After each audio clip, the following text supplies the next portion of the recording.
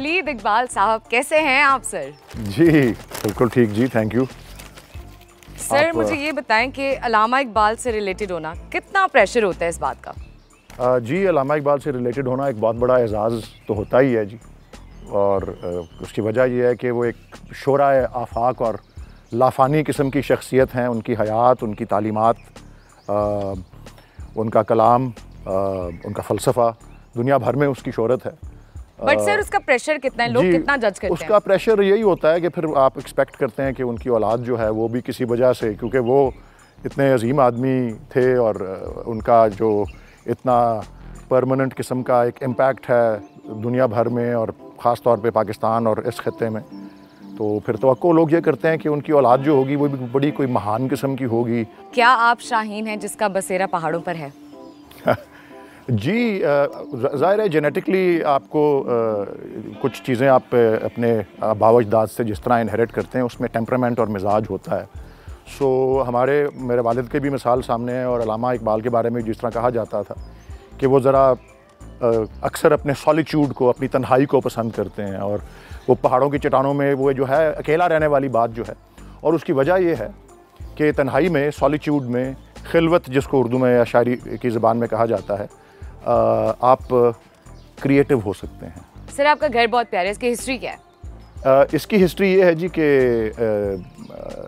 जब अलामा इकबाल की हंड्रेड या सौ साल जो जो योम विलादत था या बर्थ एनिवर्सरी थी उसके मौके पर जो जिस घर में हम बचपन में रहते थे और अम, मेरे अ, अ, हमारा सारा अलामा इकबाल को जो आखिरी रिहाइश गाह थी जो लाहौर में वहीं से उनकी आखिरी सफ़र भी शुरू हुआ उनकी फ्यूनरल जो है। उसको गवर्नमेंट ने टेक ओवर कर लिया जब और वहाँ म्यूज़ियम बना लिया। तो उसके एक दो साल बाद हमने वो जो गवर्नमेंट ने उसको अक्वायर किया था उसकी जो प्रोसीड्स थी उससे इधर गुलबर्ग लाहौर में मेरी वालदा ने ये सारी अरेंज किया इस अ, की परचेज़ इस पीस ऑफ़ लैंड की। उस वक्त गुलबर्ग ज़रा थोड़ा सा दूर समझा जाता था लाहौर में अ, अब तो बहुत सेंट्रल है बल्कि बहुत ज़्यादा कमर्शियल हो गया है। और फिर यहाँ इस घर को तामीर कर लिया। अब 1979 या 80 में हम यहाँ आए थे जी। आपके घर पुलिस आई थी क्या हुआ था? मैं उस रोज़ जिस दिन पुलिस रेड हुआ है रात के दो बजे मैं तो इस्लामाबाद में था और उस दिन सेनेट का इजलास था। तो टेलीविज़न पे वो लाइव जो है ब्रॉडकास्ट हुआ। उसके अलावा जियो फेंसिंग से एक शख्स की लोकेशन पता लग जाती है। मैं समझता हूँ या तो पुलिस बिल्कुल नालायक थी उनको पता ही नहीं था कि जी जिस आदमी को पकड़ने आ रहे हैं वो इस घर में है ही नहीं। या वो जानबूझ के ये कोई मैसेज देने के लिए आए थे, इसका मैं कुछ कह नहीं सकता। लेकिन वो आए थे, हमारे जो गेट है फ्रंट गेट उसको उन्होंने, वो तो बंद था तो उसको उन्होंने एक स्क्वाड कार जो थी पुलिस की, उसको रिवर्स करके उस गेट को ब्रेक ओपन किया फ्रंट गेट को। और फिर आए और ये इस दरवाजे पे आके वो किक और बैंग करते रहे, मेरा पूछते रहे उनको बताते रहे, यहाँ के घर के मुलाजिम की जी वो तो इस्लामाबाद है, यहाँ नहीं उन्होंने कहा, ये पाँच छः गाड़ियाँ खड़ी हुई हैं, कैसे कह सकते हैं, घर वाले नहीं हैं? तो उन्होंने कहा नहीं जी वो अपनी सातवीं गाड़ी में गए हुए हैं जो भी था।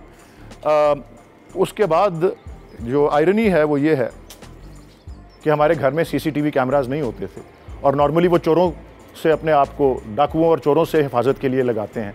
लेकिन हमने पुलिस से हिफाजत के लिए सीसीटीवी कैमराज लगाए। ये हमारे निज़ाम जो है मुल्क का ये उसके ऊपर एक आप समझ लें एक, अ, ए- एक अक्कासी किस तरह से करता है। आपकी स्किन के रूटीन क्या है? सुबह उठ के शेव करता हूँ। और शेव करने के बाद आफ्टर शेव लगाने से पहले मॉइस्चर मॉइस्चराइज़र लगा लेता हूँ। उसके अलावा और कोई रूटीन नहीं है जी। पॉलिटिशियन ना होते तो क्या होते? पॉलिटिशियन ना होता तो जो दूसरी दो फील्ड्स में मैं रहा हूँ for the last twenty twenty five years वो लॉयर है लॉयरिंग की फ़ील्ड है। तो मैं be a corporate lawyer negotiator project handler and दूसरी फ़ील्ड जो है वो टीचिंग की है। सर थर्टीन ईयर्स आपने पढ़ाया है। अब जो जेन जी। के बच्चे जो 2000 के बाद पैदा हुए हैं वो पॉलिटिशियन कैसे बने? जैन जी के बच्चे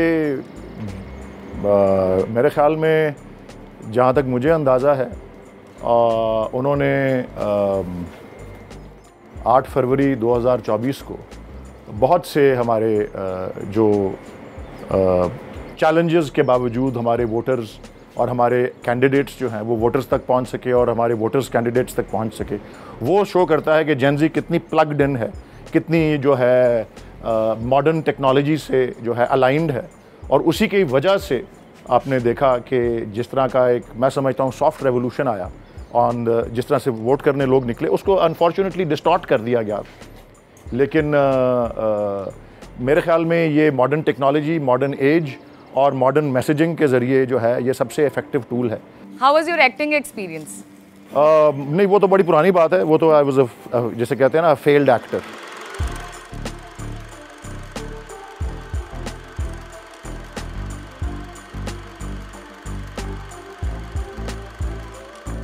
आपने एक्चुअली में कभी किसी को ग्लास मारा है? ग्लास मैंने किसी को मारा तो नहीं लेकिन अलामती तौर पे ज़रूर मारा है। फेवरेट जज कौन है? फेवरेट जज देखें जी सारे जजेज काबिल एहतराम होते हैं। किसी को फेवरेट कहना नहीं चाहिए और वैसे भी वो मुनासिब भी नहीं होगा। uh, सब काबिल एहतराम होते हैं। वैसे पर्सनल अगर आप समझ लें किसी से वाबस्तगी पुरानी रही हो हम यूनिवर्सिटी में इकट्ठे थे हालाँकि मुझसे एज में ज़रा बड़े हैं तो वो अब आने वाले पाकिस्तान के जो चीफ जस्टिस हैं that is justice Syed Mansoor Ali Shah. एक फैसला जो जुडिशरी को नहीं करना चाहिए था। वो तो बहुत से फैसले जो नहीं करने चाहिए थे। लेकिन सबसे उनमें से जो लेटेस्ट वाला है जो नहीं करना चाहिए था वो ये था जिसमें पीटीआई को उसके इंतबी निशान से महरूम किया गया था। पीटीआई ने जस्टिस शौकत सिद्दीकी के साथ जो किया वो ठीक था? पीटीआई ने नहीं किया था जी वो अदलिया ने खुद ही किया था। अदलिया खुद एहतसाब करती है उसका अपना एक इंटरनल मेकनिज़म है जो कि हमारे आइन के आर्टिकल 209 और 210 के नीचे पाया जाता है जो सुप्रीम जुडिशल काउंसिल के ज़रिए होता है। और सुप्रीम जुडिशल काउंसिल सीनियर तरीन जजेस पे मुश्तमिल होती है chief justice of Pakistan supreme court के दो सीनियर जजेस और फिर सूबों के चीफ जस्टिस में जो दो सबसे सीनियर मोस्ट जो हैं। तो जो कार्रवाई भी जस्टिस शौकत अज़ीज़ सिद्दीकी साहब के ख़िलाफ़ हुई थी वो उनके अपने ही इदारे ने एक अंदरूनी कार्रवाई की थी। उसका पीटीआई गवर्नमेंट से कोई ताल्लुक नहीं था। आपका फेवरेट पॉलिटिशियन कौन है? मेरा फेवरेट पॉलिटिशियन तो इमरान खान है जी बिल्कुल। लिविंग लिविंग पॉलिटिशियंस में जी। एक पॉलिटिशियन जो आपको बिल्कुल पसंद नहीं है। एक्चुअली वो लिस्ट बहुत लंबी है मेरी लॉग बुक दूसरे कमरे में पड़ी हुई है। वो कभी आपको बाद में बताऊँगा जी। एक चीज़ जो पीटीआई में चेंज होनी चाहिए। um, जो एक चीज़ पीटीआई में चेंज होनी चाहिए वो ये है कि लोगों को अपनी सेल्फ इंटरेस्ट जो है वो हमेशा पॉलिटिक्स में बहुत ज़्यादा मैंने देखा है कि अरूज अपना रखती है और गालिब रहती है लोगों के डिसीज़न मेकिंग पे। तो ख़ास तौर पे जब हमारे बानी चेयरमैन जो हैं वो इस वक्त कैद में हैं तो हमें बहुत ज़्यादा डिसिप्लिन की ज़रूरत है और एक मुतहद रहने की ज़रूरत है तो वो हमेशा लोगों की सेल्फ़ इंटरेस्ट और पर्सनल इंटरेस्ट और पर्सनल प्रेफरेंसेस जो होती हैं वो जब गालिब आती हैं तो थोड़ी सी पॉलिसी और मैसेज जो है वो गार्बल हो जाता है। मे नाइन को आप कहाँ थे?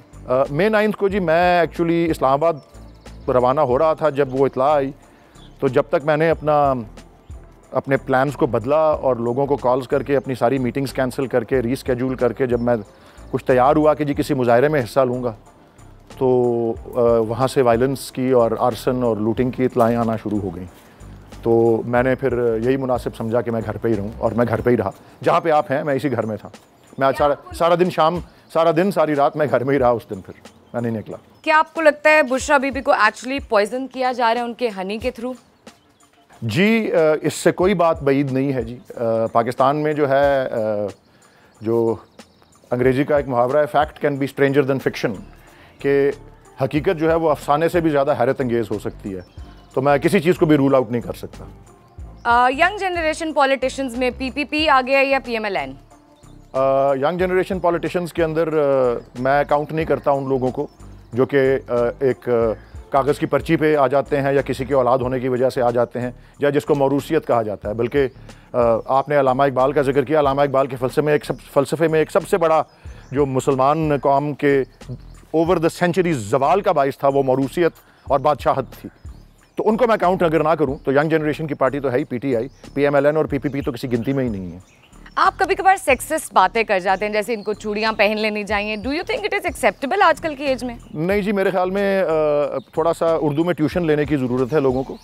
उर्दू का मुहावरा है। आपने कि, किसी फ़लाँ ने चूड़ियाँ तो नहीं पहनी हुई, के मतलब है, वो, अब that's not a sexist that's a part of our literature और दूसरा ये है कि आगे से वो मुझे मुझे उर्दू सिखाते हैं वो।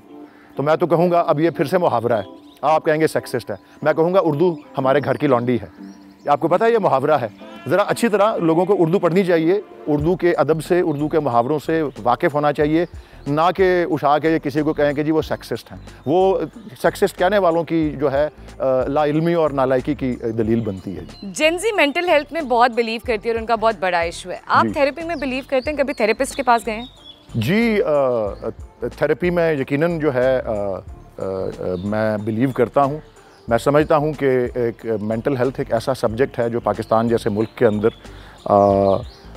निगलेक्टेड है और बहुत उसको जो है एक टैबू समझा जाता है। Lawyer from Harvard do you think you better than everyone else नहीं जी uh, ये मैं ज़रूर तस्लीम करता हूँ कि हार्वर्ड यूनिवर्सिटी की तालीम जो है और हार्वर्ड यूनिवर्सिटी ने जो अपनी एक दुनिया में रेपूटेशन और नाम कमाया हुआ है वो वाकई कमाया हुआ है और वो इसलिए क्योंकि मैंने ख़ुद अपनी आँखों से वहाँ तालीम हासिल करके वहाँ की जो फैसिलिटीज़ हैं वहाँ की जो इंफ्रास्ट्रक्चर है वहाँ की जो फैकल्टी है वहाँ की जो स्टूडेंट बॉडी है मैं दुनिया की तीन चार और यूनिवर्सिटियों में पढ़ा हुआ हूँ। लेकिन जो जिस तरह का मकाम हार्वर्ड ने हासिल कर लिया है आ, मैं समझता हूँ कहीं और नहीं पाया जाता और it opens a lot of doors और मैंने दुनिया भर में यूरोप में और अमेरिका में काम करके भी देखा है। लेकिन उसका ये मतलब मैं ज़रूर कतई तौर पे नहीं समझता कि I am better than anybody else why do you hate Maryam Nawaz मैंने तो कभी नहीं कहा कि मैं उनसे नफरत करता हूँ। ऐसी बात नफरत करना तो एक हेट करना तो बड़ा स्ट्रॉन्ग वर्ड है। आप और वो एक पर्सनल डिसलाइक को बीच में ले आता है। ख़ास तौर पे अगर आपका किसी से कोई ज़ाती ताल्लुक़ या ला ताल्लुकी या कोई वाबस या कोई वास्ता पड़ा हो मैं तो कभी उनको ज़िंदगी में मिला ही नहीं। तो मैं उनसे क्यों लाइक या डिसलाइक इन टर्म्स में कहूँ कि जी आई लव और hate that person favourite politician Zardari Nawaz और फैसल वावडा uh, ये इनमें फेवरेट का लफ्ज़ तो मैं नहीं इस्तेमाल करूँगा जी क्योंकि ये सारे इस काबिल नहीं है कि फेवरेट बन सकें। कॉफ़ी और टी कॉफ़ी पोइट्री और politics a little bit of both love और money a little bit of both dance और romance A little bit of both. Favorite food, English या देसी? Favorite food uh, देसी ही है जी. Favorite song? Favorite song uh, again uh, difficult uh, to single out one song, but uh, कुछ नुसरत फ़तेह अली के जो हैं सानू एक पल चैन ना आवे सजना तेरे बिना मैडम नूर जहाँ का जदों हौली जही लैंदा मेरा नाम मैं था मर जानी हाँ और फिर बीटल्स के मुझे गाने बहुत पसंद हैं जिसमें येस्टरडे है जिसमें हे जूड है जिसमें लेट इट बी है and so on and so forth तो वो एक इंटरनेशनल फेम वाला एक बैंड भी मेरे उसमें फिगर करता है। शेर अफजल मरवत या सलमान अकरम राजा? um, वो तो एक बड़ा डिफ़िकल्ट सवाल है to answer but I think मेरी थिंकिंग और मेरी लीनिंग ज़्यादा सलमान अकरम राजा वाले स्टाइल में है रादर देन शेर अफजल मरवत ऑल दो मैं भी दोनों में ऑल्टरनेट करता रहता हूँ। मे नाइन्थ की अब फ़र्स्ट एनिवर्सरी आ रही है। What is P T I planning what are they going to do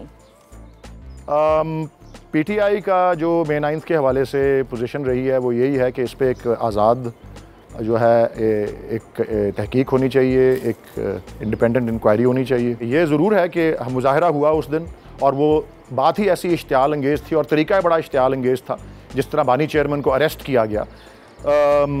लेकिन उसमें जो वायलेंस का एलिमेंट है वो किसी पार्टी पॉलिसी को रिप्रेजेंट नहीं करता। हमारी पार्टी के माजी में कोई बोरी बंद लाशें या भत्ताखोरी नहीं है। तो वो लोगों का इनफरादी फेल था वो पार्टी का कोई किसी किस्म की कोई इंस्ट्रक्शंस या हिदायत जो थी पार्टी की तरफ़ से वो नहीं थी। सर कोई पोइट्री सुना दे हमें। अलामा इकबाल का जो मशहूर ज़माना कलाम है शिकवा जो नज़म है, तवील नज़म, उसमें आखिरी चंद अशार जो हैं, वो कुछ यूँ हैं कि लुत्फ़ मरने में है, बाकी ना मज़ा जीने में। कुछ मज़ा है तो यही खून जिगर पीने में। कितने बेताब हैं जौहर मेरे आईने में। किस कदर जलवे तड़पते हैं मेरे सीने में। इस गुलिस्तान में मगर देखने वाले ही नहीं। दाग जो सीनों में रखते हों, वो लाले ही नहीं। चाक इस बुलबुल तनहा की नवा से दिल हों। जागने वाले इसी बांगे दरा से दिल हूँ। यानी फिर ज़िंदा, नए अहद वफा से दिल हूँ। फिर उसी बादाए देरीना के प्यासे दिल हों।